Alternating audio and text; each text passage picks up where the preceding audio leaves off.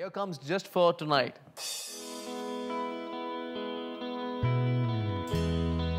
Live my life in your shadow. Not showing how I really feel. You took my breath away the first day that we met. And that's the way it's been ever since. Have to get to work well on time. It's hard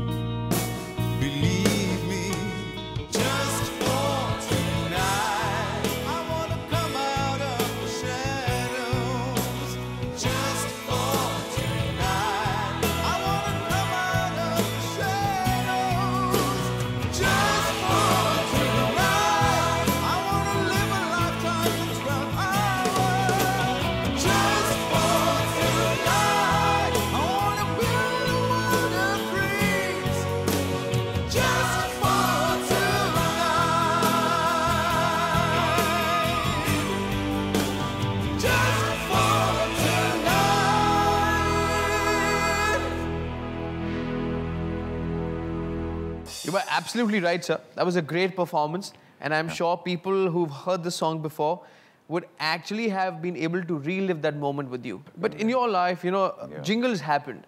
I believe so strong in destiny, Gunjan, only because of this.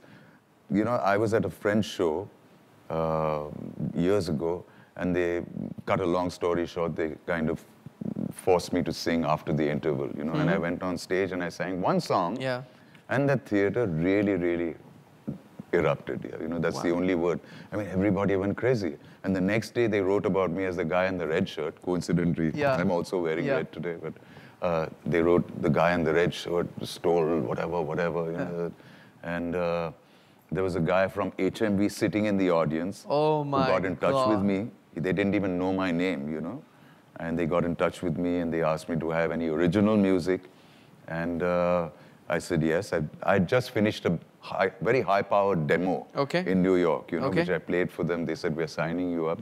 So I was actually the first Indian artist to be signed up for on a major label on EMI, HMV Wow. for an album. You know. Wow. Just through that one night. Yeah. And and I got a call. I think it was from Genesis.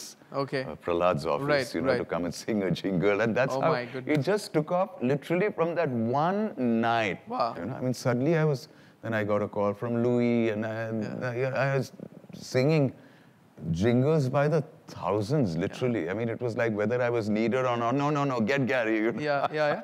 So, point is, I have to thank Jingles for course. introducing me and making me a, Right. you know, like a, a professional musician. of because course. bottom line is money. Yes. And there was money to be made in Right. Jingles, you know. Right. And through Jingles, there was money rolling in. But there was and, you know, popularity as well. And well, yeah. I mean, people used to uh, got to know that you Yes. know there's a guy who, and then of course we started staging our own Yes. concerts, and Yes. you know, Rang Bhavan was a big thing. Yeah. And we used to have these wild concerts where there'd be thousands of kids, and we just rocked that place. and you know. also cut out an album with Mr. Louis Bank. Yeah, that we did later. Yeah. Yeah. I've done a lot of albums. First, first album I ever did was an album called This Cannot Wait. Okay. Yeah. Uh, I think it was uh, one of the songs, and Yeah. everybody who's anybody played on that album. you know. Wow. Everybody, Wow. you name it. Is of course Louis sweetly played uh, Louis Banks, Yeah. Leslie Lewis, Zubin Balaporia. There was Ehsaan Noorani. Yeah. There's uh, you know Carl Peter. I mean, you name it. Everybody's Wow. on that album. You, know, you know because we were all cutting our teeth on it. So I mean, great memories. you Yeah. know. So uh, this cannot wait. Then I did a a jazz uh, standards album with Louis called Okay. High Standards Okay. Volume One. We're planning on doing Volume Two now. Okay.